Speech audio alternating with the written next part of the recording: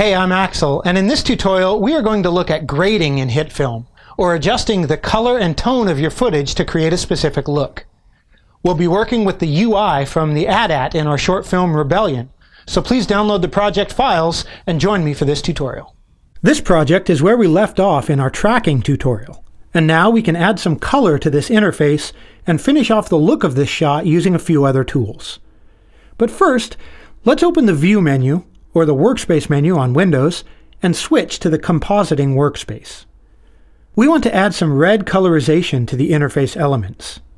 To do this, we first need all the elements to be white. In the Effects panel, search for the Fill Color effect. Drag it onto the target layer, then copy the effect. Select UI 1 and 2 and the middle layer and paste the effect onto them as well. Since these layers contain alpha channels that define their transparency, only the lines get filled with white. And now we can colorize everything red. But wait, we don't want to colorize the footage, only these UI layers. If we added a grade layer here, it would affect the footage too. So does that mean we need to apply the effects to each layer individually? No, it does not, because HitFilm has another useful feature up its sleeve. Select the top layer, then shift-click the center point layer so everything except the footage is selected. Now right-click on any one of these layers and choose Make Composite Shot.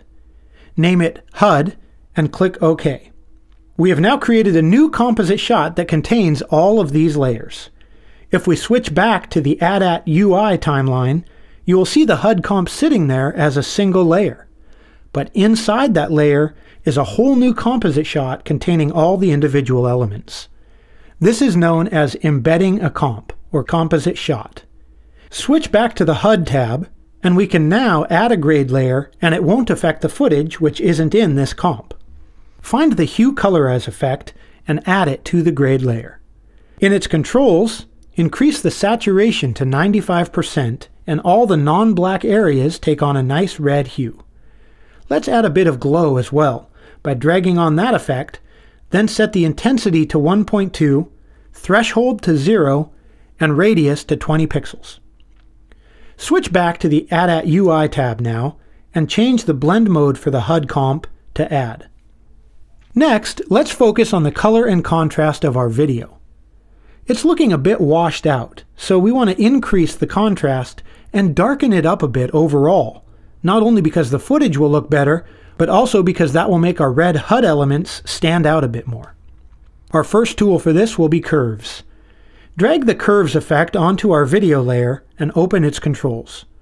Most effects have the same controls on the timeline as they do in the controls panel, but some effects, like curves, have a much richer interface in the controls panel. Double-click the effect to open it in the controls panel, and you will see the curves interface.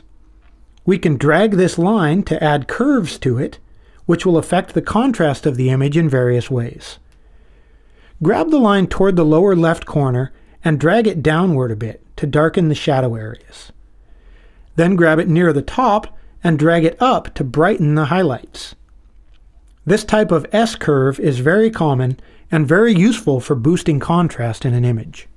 Since we are looking at this scene through a viewport, I feel like it should be a bit less vibrant, so let's add a hue, saturation, and lightness effect, and in the master controls, reduce the saturation to minus 16 or so, and reduce lightness to minus 7.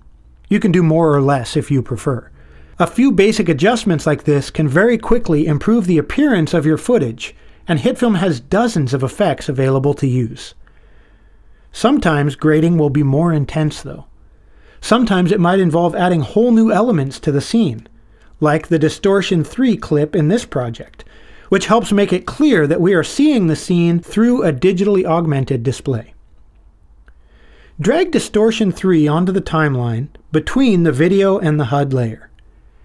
Change its blend mode, this time using Overlay, which removes the brightest areas while leaving some of the darker lines and colors. It's still a bit too intense for this scene, so I'm going to reduce its opacity to 70%. Our last step for this shot is a bit more grading for the video and distortion layers. To add some lens distortion to both the video layer and the distortion layer, so they match our HUD overlays, we can add a grade layer above the two layers we want to affect. Remember, a grade layer affects all the layers below it and no layers above it. Add the Action Cam Lens Distort effect to this grade layer, and in its preset menu, select the GoPro Hero Wide option. Now, open the Gradients and Fills folder in the Effects panel and drag the color gradient onto the grade layer as well.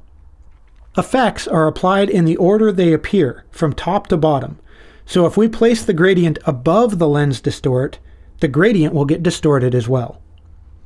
There are two control points for the gradient, one in the white area and one in the transparent area. Drag the white one to the top of the frame and the other to the bottom. Then in the controls, change the white color to a dark red. This gradient blends onto the entire scene and helps tie the various elements together. And that finishes off this shot. If you compare the results we have now to where we started, I think you'll agree that a few minutes spent grading in HitFilm Film can bring a dramatic improvement to the look of your footage. But HitFilm also has great tools for creating visual effects, which are covered in our other Rebellion tutorials. Make sure you check those ones out as well, and thanks very much for watching.